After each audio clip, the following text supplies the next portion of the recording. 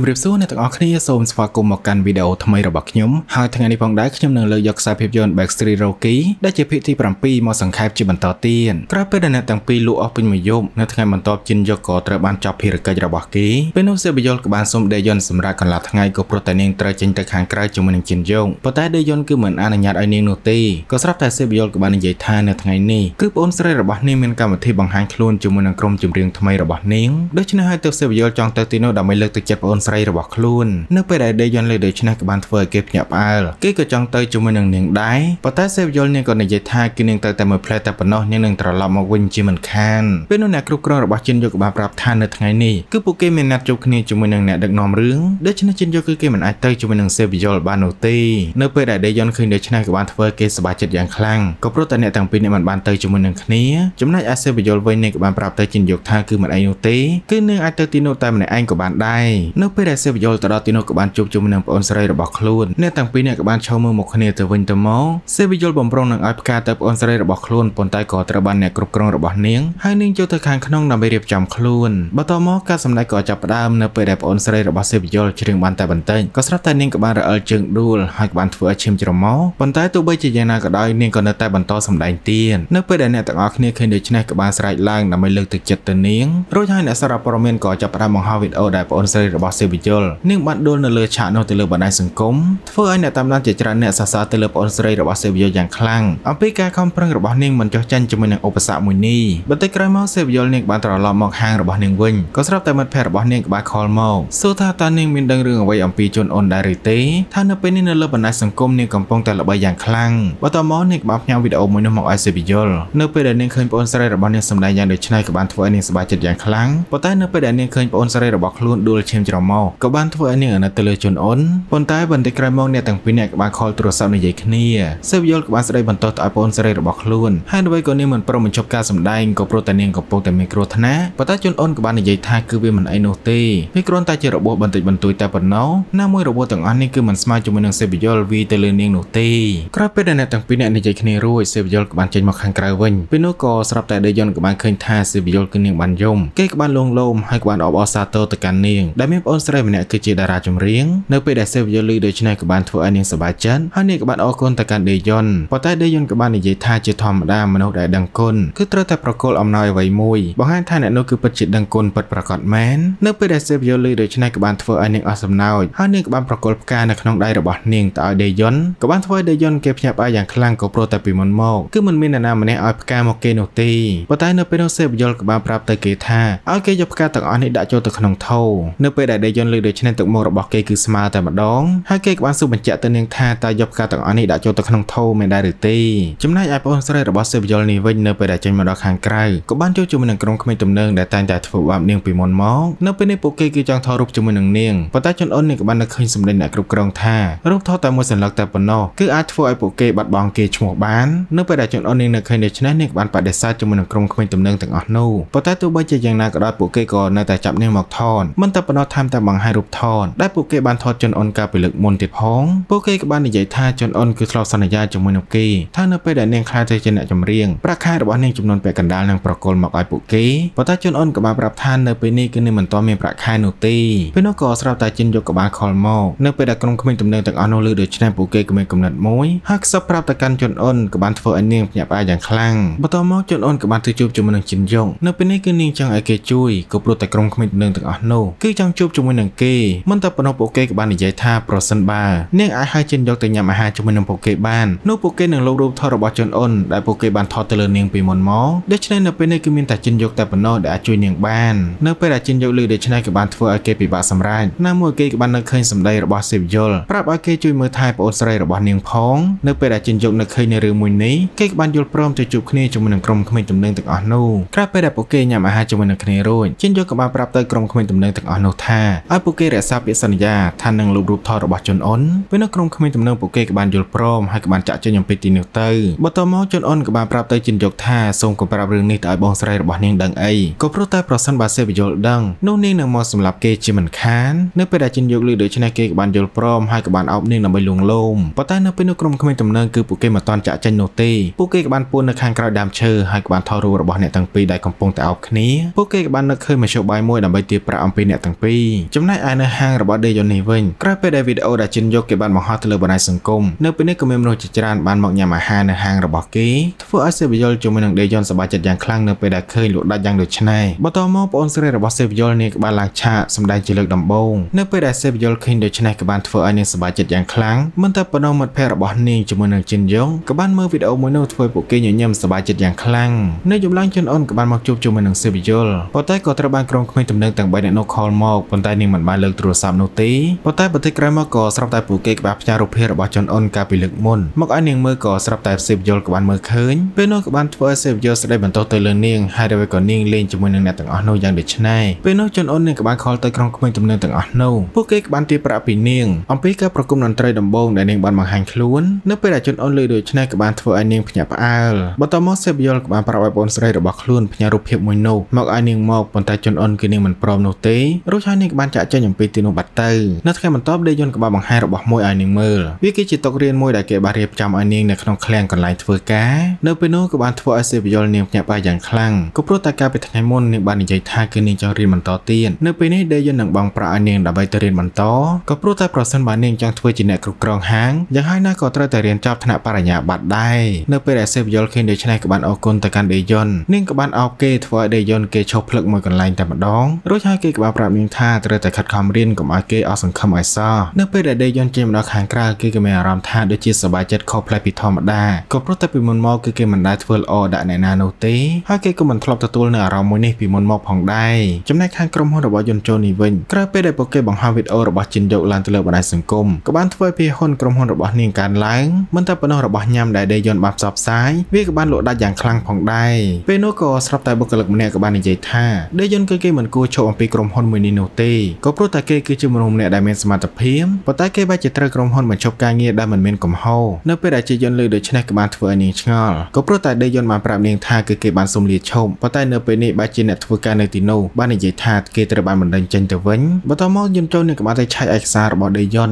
ក៏បានឃើញថាគឺគេបានទទួលបន្ទុកការងារមួយប៉ុន្តែការងារមួយនោះគឺជាការងាររបស់យន្តចូលជាអ្នកទទួលខុសត្រូវហើយនាងក៏ធ្វើមិនបានសម្រេចដោយសារតែប៉ះពាល់ជាមួយនឹងសមត្ថកិច្ចប៉ុន្តែនៅពេលដែលនាងឆែកឯកសារមួយនោះហើយដោយក៏អ្នកទទួលបន្ទុកគឺជាដេយុនទៅវិញនាងក៏បានសួរទៅកូនចៅរបស់នាងហើយគេក៏បាននិយាយថារឿងទាំងអស់នេះគឺសុងចូលជាអ្នករៀបចំទាំងអស់ក៏ព្រោះតែគេដឹងថាដេយុនជាមួយនឹងនាងគឺមានទំនាក់ទំនងជាមួយនឹងគ្នាដូច្នេះសុងជុនក៏បានសូមឲ្យដេយុនទទួលខុសត្រូវជំនួសនាងក៏ព្រោះតែគេខ្លាចនាងត្រូវទទួលវិន័យរបស់ក្រុមហ៊ុនដែលធ្វើមិនបានសម្រាញមិនតែប៉ុណ្ណោះនៅពេលដែលដេយុនគេឈប់អំពីការងារគេក៏បានប្រាប់ទៅបុគ្គលិកទាំងអស់គ្នាថាកុំប្រោរឿងនេះទៅឲ្យនាងដឹងអីហើយគេនឹងទទួលខុសត្រូវនៅកំហុសទាំងអស់ដែលយន្តចូលនាងធ្វើការងារមិនបានសម្រាញចំណែកឯសេបយលនៅខាងនេះវិញនៅពេលនេះនាងខិតខំរៀនយ៉ាងខ្លាំងដើម្បីបន្តក្តីសុបិនរបស់នាងនៅពេលនោះនាងក៏បានដើរចេញមកខាងក្រៅឃើញដេយន្តដើរមកនាងក៏បានពួនដើម្បីបញ្ញាក់គេប៉ុន្តែនៅពេលនោះក៏ស្រាប់តែយន្តចូលនាងក៏បានមកដល់នាងក៏បានស្ដីឲ្យដេយន្តសួរថាហេតុអ្វីក៏គេលាក់រឿងទាំងអស់នៅក្នុងក្រុមហ៊ុនជាមួយនឹងនាងរួចហើយអោបទៅលើដេយន្តដើម្បីសុំទោសនៅពេលដែលសេបយកឃើញដូច្នេះក៏បានធ្វើឲ្យនាងភ្ញាក់ផ្អើលយ៉ាងខ្លាំង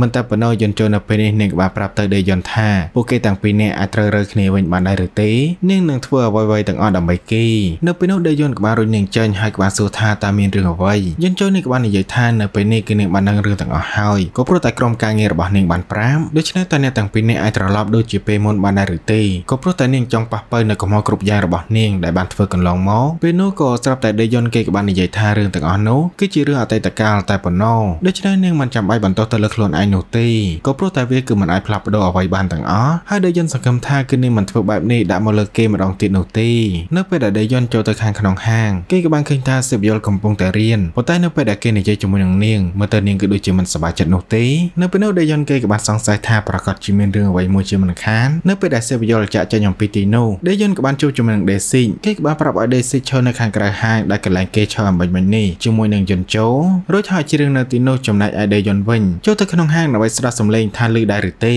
នៅពេលដែលដេស៊ីជ្រៀងដេយន្តគេក៏បានឮទាំងអស់ដូច្នេះគេក៏បានដឹងថាសេបយលប្រកាសជាឮអ្នកទាំងពីរនាក់និយាយគ្នាអំបញ្ញមិញនេះជាមិនខានហើយគេគិតថាប្រហែលជារឿងមួយនេះហើយទៅធ្វើឲ្យសេបយលនាងមិនសប្បាយចិត្តចំណែកឯសេបយលវិញនៅពេលនេះនាងក៏ជឿក្បាយយ៉ាងខ្លាំងក្រោយពេលដែលប្អូនស្រីរបស់នាងបានផ្ញើរូបថតដែលក្រុមក្មេងទំនើងទាំងអស់នោះបានចាប់បង្ខំទារប្រាក់សេបយលក៏បានគិតថានឹងទៅប្រដៅក្រុមក្មេងទំនើងទាំងអស់នោះប៉ុន្តែនាងក៏បាននឹកឃើញសម្ដីរបស់ដេយុនប្រាប់ថាចាប់តាំងពីពេលនេះទៅកុំឲ្យនាងប្រាអំពើហិង្សាទៀតគឺត្រូវតែរកវិធីដោះស្រាយដោយសន្តិវិធីដូច្នេះនាងក៏បានទៅជួបជាមួយនឹងអ្នកគ្រប់គ្រងប្អូនស្រីរបស់នាងបំរុងនឹងបង្ហាញរូបភាពទាំងអស់នោះទៅឲ្យអ្នកគ្រប់គ្រងបានឃើញដើម្បីជួយប្អូនស្រីរបស់នាងប៉ុន្តែនៅពេលនោះក៏ស្រតែអូនចូលនាងក៏បានចូលមកហើយក៏បាននាំសេពយល់ចាក់ចេញអំពីទីនោះបាត់ទៅនៅពេលដែលអ្នកទាំងពីរអ្នកកំពុងតែនិយាយគ្នាពេលនោះក្រុមក្មេងទំនើងពួកគេក៏បានមកដល់នៅពេលដែលសេពយល់ឃើញដូច្នេះក៏បានប្រាប់ឲ្យប្អូនស្រីរបស់នាងចូលទៅខាងក្នុងវិញទៅគឺទុកឲ្យនាងចាត់ការទៅលើក្រុមក្មេងទំនើងទាំង3នាក់នេះបន្ទាប់មកពួកគេក៏បាននាំនាងទៅកន្លែងស្ងាត់រួចហើយក៏បានវាយទៅលើសេពយល់ប៉ុន្តែនាងមិនតដៃវិញនោះទេក៏ព្រោះតែនាងចាំពាក្យសម្ដីរបស់ដេយ៉ុនដូច្នេះគឺនាងមិនតដៃជាមួយនឹងអ្នកទាំងអស់នោះវិញមិនតែប៉ុណ្ណោះក្រុមក្មេងទំនើងទាំងអស់នោះក៏បាននិយាយថាគឺពួកគេមិននៅស្ងៀមនោះទេប្រសិនបើអូនចូលនាងមិនព្រមប្រកល់ប្រាស់នោះពួកគេនឹងបង្ហោរូបភាពទាំងអស់នោះទៅលើបណ្ដាញសង្គមជាមិនខាននៅពេលនោះសេពយល់ក៏ត្រូវបានអ្នកកាសែតម្នាក់ថតរូបរបស់នាងនៅពេលដែលនាងត្រូវបានក្រុមក្មេងទំនើងទាំងអស់នោះកំពុងតែវាយបន្ទាប់មកសេពយល់ក៏បានខលហៅមិត្តភ័ក្តិរបស់នាងជួននាងមកកន្លែងធ្វើការវិញនៅពេលដែលមកដល់ក៏បានធ្វើដេយ៉ុនភ្ញាក់ផ្អើលយ៉ាងខ្លាំងនៅពេលដែលឃើញសេពយល់នាងមានរបួសពេញខ្លួនគេបានសួរទៅសេពយល់ថាតើមានរឿងអ្វីប៉ុន្តែនាងមិនហ៊ានប្រាប់គេនោះទេនាងគ្រាន់តែនិយាយថាគឺនាងរអិលជើងដួលតែប៉ុណ្ណោះប៉ុន្តែមិត្តភ័ក្តិរបស់នាងក៏បានប្រាប់ទៅដេយ៉ុនថាក៏ព្រោះតែក្រុមក្មេងទំនើងទាំង3នាក់នោះបានទៅរករឿងប្អូនស្រីរបស់នាងទាប្រាក់មិនតែប៉ុណ្ណោះពួកគេក៏មានរូបថតដែលគម្រាមទៅលើប្អូនស្រីរបស់សេបយលទៀតផងដូច្នេះក៏បានធ្វើឲ្យសេបយលទៅជួបជាមួយនឹងក្រុមក្មេងទំនើងទាំងអស់នោះហើយនាងក៏ត្រូវបានពួកគេវាយ៉ាងដូចនេះបន្ទាប់មកដេយ៉ុនក៏បានលៀងរបួសឲ្យនាងមើលទៅគេគឺដូចជាកំពុងតែបារម្ភយ៉ាងខ្លាំងគេក៏បានប្រាប់ទៅនាងថាប្រសិនបើមានរឿងបែបនេះហាត់វេក៏នាងមកប្តឹងប៉ូលីសបែរជាទៅជួបជាមួយនឹងពួកគេយ៉ាងដូចនេះប៉ុន្តែសេបយលក៏បាននិយាយថានៅពេលនេះរឿងទាំងអស់នោះគឺត្រូវបានដោះស្រាយហើយពេលនោះសេបយលនាងក៏បានយំក៏ព្រោះតែអាណិតទៅលើប្អូនស្រីរបស់ខ្លួនណាមួយពីមុនមកពួកគេទាំងពីរនាក់គឺជាកុមារកំព្រាដូច្នេះពួកគេតែងតែត្រូវបានធ្វើបាបជានិច្ចប៉ុន្តែនៅពេលដែលនាងជួបជាមួយនឹងដេយ៉ុនគេគឺជាមនុស្សល្អម្នាក់បានឲ្យនាងធ្វើការមិនតែប៉ុណ្ណោះថែមទាំងឲ្យនាងស្នាក់នៅផ្ទះរបស់គេទៀតផងនាងក៏បានអរគុណទៅកាន់គេដែលគេតែងតែជួយនាងកន្លងមកចំណែកឯដេស៊ីជាមួយនឹងមិត្តភក្តិសិបយលនេះវិញអ្នកទាំងពីរនាក់ក៏បានជួបគ្នានៅកន្លែងលេងហ្គេមរំពួកគេក៏បានលេងហ្គេមមួយនោះជាមួយនឹងគ្នាហើយទទួលបន្ទុកបានលេខ1បន្ទាប់មកអ្នកទាំងពីរនាក់ក៏បានតែផឹកស្រាជាមួយនឹងគ្នាចំណែកយន្តជននេះវិញនៅពេលនេះនាងក៏បានជួបជាមួយនឹងថ្នាក់លើរបស់នាងនាងក៏បានសួរទៅគាត់ថាតើនឹងចាំបុគ្គលិកម្នាក់ដែលមានឈ្មោះថាដេយ៉ុនដែរឬទេគេគឺជាបុគ្គលិកម្នាក់ដែលត្រូវបានបញ្ឈប់អំពីការងារហើយនៅមួយការផ្សព្វផ្សាយកាលពីថ្ងៃមុនក៏ជាហាងរបស់គេផងដែរដូច្នេះគឺនាងចង់ឲ្យថ្នាក់លើរបស់នាងអញ្ជើញគេទៅញ៉ាំអាហារជាមួយនឹងគ្នានៅពេលដែលថ្នាក់លើរបស់នាងឮដូច្នេះគេក៏បានយល់ព្រមប៉ុន្តែមើលទៅសង្ជន់គេដូចជាមិនពេញចិត្តនោះទេបន្ទាប់មកនេះក៏បានឲ្យកូនចៅរបស់នាងទៅអញ្ជើញដេយ៉ុនដើម្បីទៅញ៉ាំអាហារជាមួយនឹងនាយកក្រុមហ៊ុននៅពេលដែលដេយ៉ុនឮដូច្នេះគេក៏បានបដិសេធប៉ុន្តែម្ដាយរបស់គេក៏បានប្រាប់ថាគឺគេត្រូវតែទៅក៏ព្រោះតែនេះគឺជាកិត្តិយសដ៏ខ្លាំងបំផុតដែលនាយកក្រុមហ៊ុនបានអញ្ជើញគេទៅញ៉ាំអាហារជាមួយនឹងគ្នាចំណែកឯមិត្តភក្តិសេបយលជាមួយនឹងដេស៊ីនីវិញនៅពេលដែលពួកគេភ្ញាក់ពីដេកក៏ស្រាប់តែឃើញថាគឺពួកគេបានដេកក្រែតែមួយជាមួយនឹងគ្នាពេលនោះក៏បានធ្វើមិត្តភក្តិរបស់សេបយលនាងភ្ញាក់ផ្អើលយ៉ាងខ្លាំងហើយក៏បានវាយទៅលើដេស៊ីមួយដៃទៀតរួចហើយនាងក៏បានសួរទៅដេស៊ីថាតើនេះគឺជាកន្លែងណាហេតុអ្វីក៏នាងនៅទីនេះប៉ុន្តែដេស៊ីគេក៏មិនដឹងនោះដែរថាហេតុអ្វីបានជាមិត្តភក្តិរបស់សេបយលនៅក្នុងបន្ទប់របស់គេពេលនោះអ្នកទាំងពីរនាក់ក៏បានស្រមៃឃើញថាការពីយប់មិញក្រោយពេលដែលពួកគេផឹកស្រវឹងជោគជាំរួចដេស៊ីក៏បានអ៊ីវនាងត្រឡប់មកផ្ទះវិញហើយក៏បានគេងជាមួយនឹងគ្នាប៉ុន្តែម្នាក់ម្នាក់គឺឆ្លើយយកត្រូវរៀងៗខ្លួនដូច្នេះមិត្តភ័ក្តិរបស់សេបយលនាងក៏បានសម្រេចចិត្តថានឹងចាក់ចេញអំពីទីនោះប៉ុន្តែនៅពេលដែលនាងចេញមកដល់ខាងក្រៅក៏ស្រាប់តែឃើញសេបយលនៅក្នុងហាងនៅពេលនោះនាងក៏បានរត់ពួនដើម្បីកុំឲ្យសេបយលឃើញថាគឺនាងចេញអំពីផ្ទះរបស់ដេស៊ីហើយក៏បានចាក់ចេញអំពីទីនោះទៅផ្ទះរបស់នាងបាត់ទៅចំណែកឯដេយននេះវិញនៅពេលនេះគេក៏បានទៅជួបជាមួយនឹងនាយកក្រុមហ៊ុនហើយនៅក្នុងនោះយន្តចូលជាមួយនឹងសងជុនក៏បាននៅទីនោះដូចគ្នានាយកក្រុមហ៊ុនក៏បានសួរសុខទុក្ខទៅលើដេយ៉ុនរួចហើយក៏បានប្រគល់កាដូមួយទៅឲ្យគេវាគឺជាសោមាសមួយដើម្បីអរគុណទៅកាន់ដេយ៉ុននៅពេលដែលដេយ៉ុនត្រឡប់មកដល់ហាងវិញសេបយលក៏បានហាត់ទៅលើអារបស់គេថាមានក្លិនអ្វីចម្លែកដែរឬទេក៏ព្រោះតែគេក៏បានជួបគ្នាជាមួយនឹងយន្តចូលនៅទីនោះដែរប៉ុន្តែនៅពេលដែលនាងហាត់រួចក៏បាននឹងថាគឺមិនមានក្លិនអ្វីនោះទេហើយនាងក៏បានប្រាប់គេថាគឺមិនចង់ឲ្យគេពាក់ព័ន្ធជាមួយនឹងយន្តចូលទៀតនោះទេនៅពេលដែលដេយ៉ុនលើកដូច្នេះគេក៏បានយល់ព្រមបន្តមកអ្នកទាំងពីរនាក់ក៏បានប្រឡែងគ្នាប៉ុន្តែការភ្នែករបស់ពួកគេទាំងពីរនាក់ក៏បានសម្លឹងរកគ្នាបំរុងនឹងថើបក៏ស្រាប់តែម្ដាយរបស់ដេយុនក៏ចូលមកធ្វើអ្នកទាំងពីរនាក់ដាច់ចង្វាក់នៅពេលដែលម្ដាយរបស់ដេយុនឃើញដូច្នេះក៏ស្មានថាកូនប្រុសរបស់ខ្លួនក៏ពុះតែធ្វើបាបទៅលើសេបយលទៀតក៏ព្រោះតែគាត់ឃើញថាសេបយលកំពុងតែមានរបួសគាត់ក៏បានស្រីបន្តទៅឲ្យដេយុនយ៉ាងខ្លាំងមិនតែប៉ុណ្ណោះគាត់ក៏បាននាំសេបយលចាក់ចេញអំពីទីនោះត្រឡប់ទៅផ្ទះវិញក៏ព្រោះតែចង់ឲ្យនាងសម្រាប់រៀននៅឯផ្ទះដើម្បីត្រៀមប្រឡងដូច្នេះនៅពេលនេះអ្នកទាំងពីរនាក់ក៏ត្រូវបានបែកគ្នាមើលទៅពួកគេគឺដូចជាត្រូវបានម្ដាយរបស់ខ្លួនបំបែកយ៉ាងអញ្ចឹងនៅថ្ងៃបន្ទាប់ក៏ស្រាប់តែយន្តជោគបានមកជួបជាមួយនឹងដេយុនម្ដងទៀតនាងមកទីនេះគឺចង់ប្រាប់គេថានៅពេលនេះនាយកក្រុមហ៊ុនគឺចង់ឲ្យដេយុនត្រឡប់ទៅធ្វើការវិញហើយទទួលមុខតំណែងមួយធ្វើជាអ្នកតំណាងសាខាទាំងអស់ទូទាំងប្រទេសប៉ុន្តែដេយុនគេក៏បានបដិសេធក៏ព្រោះតែគេមិនមានបទពិសោធន៍នោះទេណាមួយហាងរបស់គេបើកមិនទាន់បានមួយឆ្នាំផងដូច្នេះគឺគេមិនហ៊ានធ្វើវានោះទេនៅពេលដែលយន្តចូលលើដូច្នេះក៏បានធ្វើឲ្យនាងអស់សង្ឃឹមហើយនាងក៏បានសុំទៅទៅកាន់គេអំពីរឿងកាប់3ឆ្នាំមុនដែលធ្វើគេបាត់បង់ការងារប៉ុន្តែដេយុនក៏បាននិយាយថាវាគឺជាការសម្រេចចិត្តរបស់គេហើយវាក៏មិនមានអ្វីដែលពាក់ព័ន្ធជាមួយនឹងនាងនោះដែរនៅពេលដែលយន្តចូលលឺដូច្នេះគឺធ្វើឲ្យនាងមិនដឹងថាត្រូវនិយាយអ្វីជាបន្តទៀតនាងក៏បានចាក់ចេញអំពីទីនោះរួចហើយក៏បានទៅជួបជាមួយនឹងម្ដាយរបស់ដេយ៉ុននៅឯផ្ទះបន្ទាប់មកនាងក៏បានបញ្ចុះបញ្ចូលម្ដាយរបស់ដេយ៉ុនដើម្បីឲ្យគេត្រឡប់ទៅធ្វើការនៅឯក្រុមហ៊ុនវិញនៅពេលដែលម្ដាយរបស់ដេយ៉ុនលឺដូច្នេះក៏បានធ្វើឲ្យគាត់សប្បាយចិត្តយ៉ាងខ្លាំងក៏ព្រោះតែតំណែងមួយនោះគឺទទួលបានប្រាក់ខែច្រើនដូច្នេះគាត់ក៏បានប្រាប់ទៅយន្តចូលថាគឺគាត់សុំគិតមើលសិនបន្តិចក្រោយមកសេបយលនាងក៏បានចាក់ចេញអំពីផ្ទះដើម្បីទៅធ្វើការនៅពេលនោះអ្នកទាំងពីរនាក់ក៏បានជួបគ្នាពួកគេក៏បានឌឺដងគ្នាទៅវិញទៅមកហើយក៏បានត្រឡប់ទៅធ្វើការវិញរៀងៗខ្លួននៅពេលដែលសេបយលមកដល់ហាងក៏ស្រាប់តែឃើញថាប៉ូលីសបាននិយាយគ្នាជាមួយនឹងដេយ៉ុននាងស្មានថាហាងរបស់នាងនៅពេលនេះមានបញ្ហាអ្វីនាងបានសួរទៅដេយ៉ុនដេយ៉ុនក៏បានប្រាប់ថាប៉ូលីសកំពុងតែតាមចាប់ជនសង្ស័យម្នាក់ហើយសុំវីដេអូកាមេរ៉ាសុវត្ថិភាពនៅជុំវិញហាងរបស់គេនៅពេលដែលសេបយលឮដូច្នេះនាងក៏បានដឹងថាគឺមិនមានរឿងអ្វីនោះទេក៏ស្រាប់តែនៅពេលនោះក្រុមក្មេងទំនើងទាំង3នាក់ក៏បានដើរកាត់នៅទីនោះឃើញសេបយលជាមួយនឹងប៉ូលីសកំពុងតែនិយាយគ្នាអំពីការតាមចាប់ជនល្មើសពួកគេស្មានថាសេបយលបានប្រឹងប៉ូលីសអំពីរឿងដែលពួកគេបានវាយនាងកាលពីថ្ងៃមុនដូច្នេះក្រុមក្មេងទំនើងទាំង3នាក់នោះក៏បានបង្ហោះវីដេអូដែលប្អូនស្រីរបស់សេបយលជាមួយនឹងជីនយកអោបគ្នាកាលពីថ្ងៃមុនទៅលើបណ្ដាញសង្គមមិនតែប៉ុណ្ណោះបង្ហោះរូបភាពប្អូនស្រីរបស់សេបយលដែលពួកគេបានថតកាលពីថ្ងៃមុនដូចគ្នានៅពេលដែល fan ទាំងអស់គ្នាឃើញដូច្នេះក៏បានធ្វើពួកគេភ្ញាក់ផ្អើលយ៉ាងខ្លាំងចំណែកឯព័ត៌មានជាច្រើនក៏បានចោទអំពីពួកគេទាំងពីរនាក់ផងដែរនៅពេលនេះក៏ត្រូវបានអ្នកគ្រប់គ្រងប្អូនស្រីរបស់សេវយលហៅនាងមកសួរបន្ទាប់មកក៏បានខលហៅអាណាព្យាបាលរបស់នាងកាលពីថ្ងៃមុនដែលបានចុះកិច្ចសន្យាមកដូចគ្នាពេលនោះអ្នកគ្រប់គ្រងរងក៏បានដឹងថាអាណាព្យាបាលរបស់ជុនអ៊ុនគឺជាមនុស្សខ្លាំងខ្លាយដែលនាងបានជុលមកតែប៉ុណ្ណោះចំណែកឯអ្នកព័ត៌មានដែលបានថតសេពយល់កាលពីថ្ងៃមុនវិញនៅពេលនេះក៏បានធ្វើឲ្យនាងខឹងយ៉ាងខ្លាំងក៏ព្រោះតែរូបភាពទាំងអស់នោះត្រូវបានបែកធ្លាយមុនពេលដែលព័ត៌មានរបស់នាងចេញផ្សាយនាងក៏ចាប់ផ្ដើមសរសេរព័ត៌មានមួយទៀតដែលពាក់ព័ន្ធជាមួយនឹងជិនយងថាការពិតទៅមាត់ស្រីរបស់ជិនយងគឺជាបងស្រីរបស់ជុនអ៊ុននៅពេលដែលជិនយងឃើញព័ត៌មានមួយនោះយ៉ាងដូចនេះនៅពេលនេះគេក៏បានបារម្ភជាមួយនឹងសេពយល់ក៏ព្រោះតែខ្លាច fan របស់គេទៅវាយប្រហារគេក៏ចង់ទៅជួបនាងប៉ុន្តែក៏ត្រូវបានអ្នកគ្រប់គ្រងខត់គេមិនឲ្យចាក់ចេញអំពីបន្ទប់នោះទេប្រសិនបើគេចេញនោះកងក្រារបស់គេនឹងត្រូវបញ្ចប់ជាមិនខានបន្ទាប់មកក្រុមក្មេងទំនឹងទាំង3អ្នកនោះក៏បានបង្ហោះវីដេអូរបស់សេបយលដែលបានវាយទៅលើពួកនាងកាលពីនៅរៀនទៅលើបណ្ដាញសង្គមនៅពេលដែលភ្ញៀវចូលទៅទិញទំនិញនៅក្នុងហាងរបស់ដេយុនឃើញដូច្នេះក៏បានធ្វើពួកគេភ្ញាក់ផ្អើលយ៉ាងខ្លាំងដែលមិននឹកស្មានថាសេបយលនាងគឺជាក្មេងទំនើងនោះទេធ្វើឲ្យពួកគេភ័យខ្លាចយ៉ាងខ្លាំងហើយក៏បានរត់ចាក់ចេញអំពីទីនោះអស់ទៅនៅពេលដែលសេបយលឃើញដូច្នេះគឺនាងមិនដឹងថាមានរឿងអ្វីនោះទេនាងក៏បានពិនិត្យទៅលើបណ្ដាញសង្គមហើយក៏បានឃើញថាព័ត៌មានរបស់នាងជាច្រើនកំពុងតែបង្ហោះជាបន្តបន្ទាប់ធ្វើឲ្យនាងភ្ញាក់ផ្អើលយ៉ាងខ្លាំងចំណែកឯភ្ញៀវនៅក្នុងហាងពួកគេក៏បានរត់ចាក់ចេញអំពីទីនោះអស់ដូចគ្នានៅពេលដែលសេបយលឃើញដូច្នេះក៏បានធ្វើឲ្យនាងភ័យខ្លាចដោយមិនដឹងថានៅពេលនេះនាងគួរតែធ្វើអ្វីនោះទេបន្ទាប់មកដេយ៉ុនក៏បានឃើញព័ត៌មានមួយនោះហើយក៏បានរត់មកហាងភ្លាមៗតែម្ដង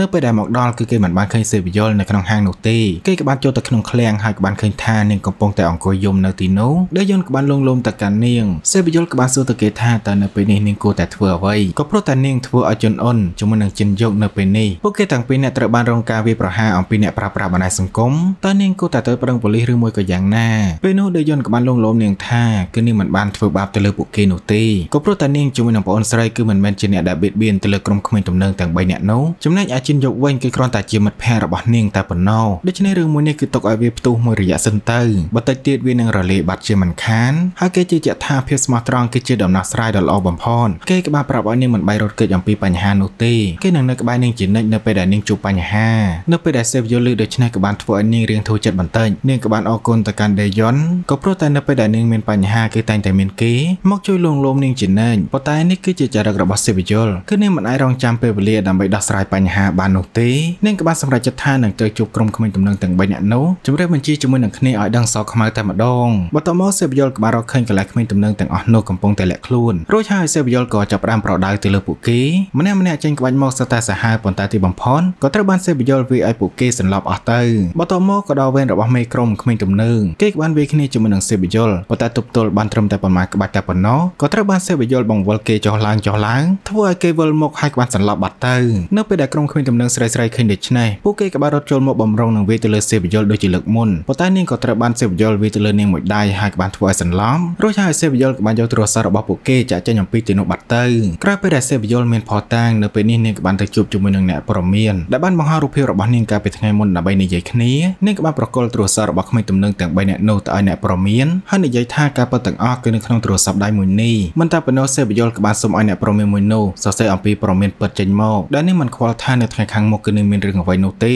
ប៉ុន្តែនៅពេលនេះគឺនាងចង់ការពារប្អូនស្រីមិត្តភ័ក្តិជាមួយនឹងថៅកែរបស់នាងតែប៉ុណ្ណោះបន្ទាប់មកសេវយល់ក៏បានទៅកន្លែងប្អូនស្រីរបស់ខ្លួនកំពុងតែស្នាក់នៅនាងក៏បានជួបជាមួយនឹងអ្នកគ្រប់គ្រងថាប្អូនស្រីរបស់នាងគឺបានចាក់ចេញអំពីទីនេះហើយកាលពីយប់មិញនាងក៏បានសុំទោសទៅកាន់អ្នកគ្រប់គ្រងដែលប្អូនស្រីរបស់នាងបាននិយាយកុហកអំពីអាណាព្យាបាលបន្ទាប់មកសេពយល់ក៏បានយកអីវ៉ាន់ប្អូនស្រីរបស់ខ្លួនចាក់ចេញអំពីទីនោះហើយក៏បានដឹងថានៅពេលនេះប្អូនស្រីរបស់នាងក៏កំពុងតែនៅទីណាផងដែរអ្នកទាំងពីរអ្នកក៏បានជួបគ្នាហើយជន់អូនក៏បានសុំទោសទៅកាន់បងស្រីរបស់នាងពួកគេក៏បានយំអោបគ្នាហើយសេពយល់ក៏បានលួងលោមទៅកាន់ប្អូនស្រីរបស់នាងដើម្បីឲ្យនាងធូរស្រាលអារម្មណ៍អំពីរឿងមួយនេះនៅថ្ងៃបន្ទាប់ជិនយកក៏បានណាត់ជួបគ្នាជាមួយនឹងអ្នកព័ត៌មាននៅកន្លែងដាក់ធាតុឪពុករបស់សេពយល់គេក៏បានប្រាប់រឿងរ៉ាវទាំងអស់ទៅកាន់អ្នកព័ត៌មានមួយនោះថាការពិតទៅគេជាមួយនឹងបងប្អូនរបស់សេពយល់គឺជាមិត្តភក្តិនឹងគ្នាតែប៉ុណ្ណោះនៅមួយនៅពេលដែលឪពុករបស់សេពយល់ស្លាប់គាត់ក៏បានផ្ដាំឲ្យគេមើលថែបងប្អូនស្រីទាំងពីរអ្នកនោះផងដែរដូច្នេះអត្ថបទដែលអ្នកព័ត៌មានមួយនោះបានសរសេរថាគេគឺជាមិត្តប្រុសរបស់សេពយល់គឺវាមិនពិតនោះទេក៏ព្រោះតែនាងនៅពេលនេះគឺកំពុងតែពេញចិត្តជាមួយនឹងអ្នកផ្សេងដូច្នេះគឺគេចង់ឲ្យអ្នកព័ត៌មានមួយនោះកែប្រែអត្ថបទរបស់នាង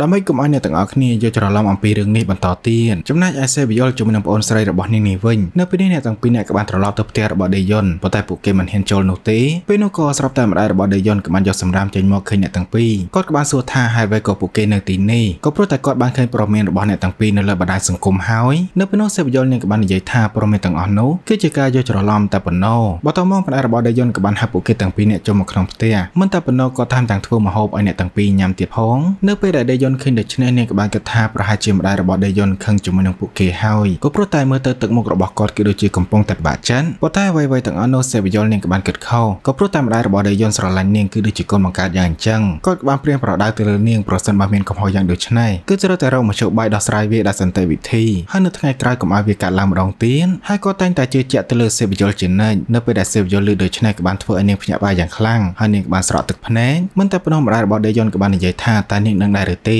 ដេយុនពេញមួយថ្ងៃនេះគឺតាមស្វែងរកនាងគ្រប់ទីកន្លែងទាំងអស់ប៉ុន្តែស្វែងរកមិនឃើញក៏បានធ្វើឲ្យគេបារម្ភទៅលើនាងយ៉ាងខ្លាំងចំណែកអ្នកព័ត៌មាននេះវិញនៅពេលនេះនាងក៏ចាប់ផ្ដើមឆែកអំពីព័ត៌មានមូលហេតុដែលឪពុករបស់សេបយលស្លាប់ក្រោយពេលដែលនាងដឹងការពិតទាំងអស់នាងក៏បានឆែកទៅលើទូរស័ព្ទដែលសេបយលបានឲ្យនាងកាលពីថ្ងៃមុនក៏បានឃើញថានៅក្នុងនោះគឺសុទ្ធតែជាវីដេអូក្រុមក្មេងទំនើងធ្វើបាបទៅលើជនអ៊ុនដើម្បីថតរូបដូច្នេះនៅពេលនេះនាងក៏បានសម្រេចចិត្តថានឹងសរសេរព័ត៌មាននិយាយអំពីការពិតដើម្បីកុំឲ្យអ្នកទាំងអស់គ្នាយល់ច្រឡំសេបយលជាមួយនឹងប្អូនស្រីរបស់នាងជាបន្តទៀតបន្ទាប់មកអត្ថបទមួយនោះក៏បានបង្ហោះទៅលើបណ្ដាញអ៊ីនធឺណិតអ្នកព័ត៌មានក៏បានខលមកសេបយលថាឲ្យនាងចូលទៅមើលព័ត៌មានមួយនោះមើលថាពេញចិត្តដែរឬទេនៅពេលដែលសេបយលជាមួយនឹងប្អូនស្រីរបស់នាងអានរួចក៏បានធ្វើឲ្យពួកគេសប្បាយចិត្តយ៉ាងខ្លាំងជន់អូនក៏បានយំអោបបងស្រីរបស់ខ្លួនហើយក៏បានអរគុណដែលសេបយលតែងតែជួយការពារនាងកន្លងមកបន្ទាប់មកសេបយលនាងក៏បានមកខាងវិញនៅពេលដែលដេយ៉ុនឃើញដូច្នេះគឺគេចង់ស្ដីបន្តទៅឲ្យនាងប៉ុន្តែសេបយលក៏បាននិយាយថាកុំតន់អីគឺនាងចង់អោបគេសិនដេយ៉ុនក៏បានប្រាប់ទៅនាងថាតើនាងដឹងដែរឬទេថាគេបារម្ភអំពីនាងយ៉ាងណាហើយគេក៏បានសរសើរទៅកាន់នាងថាគឺពិតជាអស្ចារ្យខ្លាំងណាស់ដែលនាងអាចដោះស្រាយរឿងមួយនេះបាន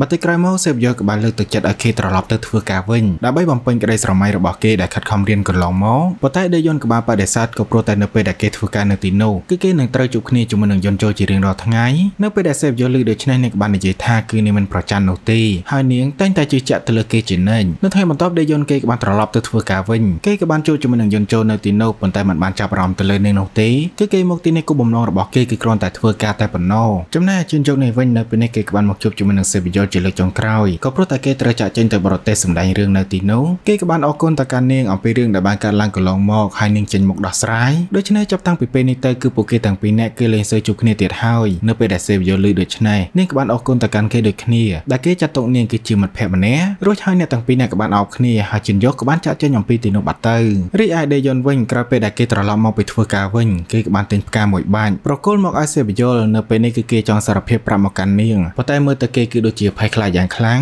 ចំណែកឯសេវយលវិញគឺនាងបានត្រៀមខ្លួនរួចរាល់ហើយថានាងនិយាយយល់ព្រមនៅពេលនេះគឺនាងគ្រាន់តែរងចាំគេនិយាយចេញមកតែប៉ុណ្ណោះនឹងហើយអ្នកទាំងអស់គ្នាភាគទី7របស់យើងក៏ចាប់ត្រឹមតែប៉ុណ្នេះប្រសិនបើពេញចិត្តនៅវីដេអូនេះកុំភ្លេចចុច Subscribe និងដាក់សញ្ញារូបកណ្ដឹងខ្ញុំនឹងមកជួបអ្នកទាំងអស់គ្នានៅភាគទី8ដែលជាភាគបញ្ចប់